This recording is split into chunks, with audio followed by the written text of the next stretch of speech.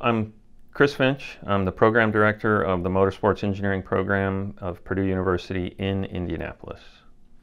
So the Motorsports Engineering Program is unique because we teach the engineering sciences and tie that engineering science to practical application problems that we feel uh, provide the students with a unique skill set in problem solving and critical thinking.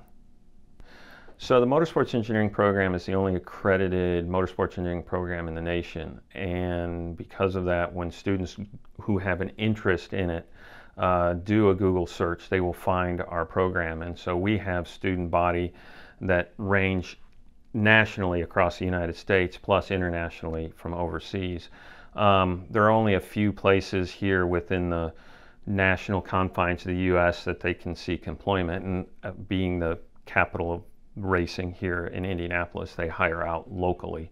Uh, otherwise, they hire out into Charlotte. So the Motorsports Engineering program focuses on the automotive engineering disciplines in vehicle dynamics, vehicle aerodynamics, uh, vehicle powertrain, including IC engines and now hybrid and electric vehicles.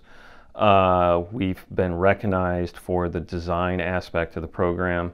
You know, all of those uh, tied together uh, with emphasis in electrical engineering as well, uh, provides the students with a real well-rounded automotive motorsports engineering background, making them ready for the industry.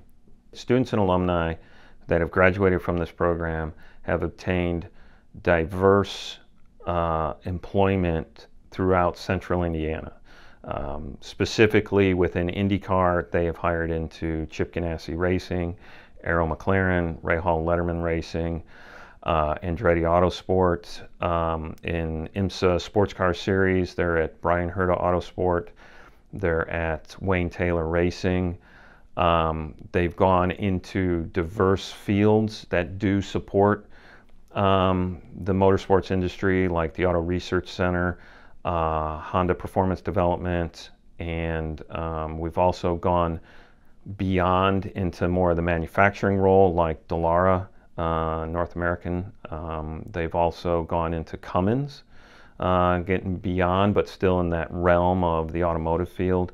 Um, we have had a few students who've moved outside of Indiana and done SpaceX, um, gotten down into Charlotte at Toyota Racing Development, Harley Davidson. So we've kind of fulfilled, even though it says motorsports engineering, we've fulfilled the objective of creating young, talented engineers that can take their, their, their degree and go pretty much anywhere.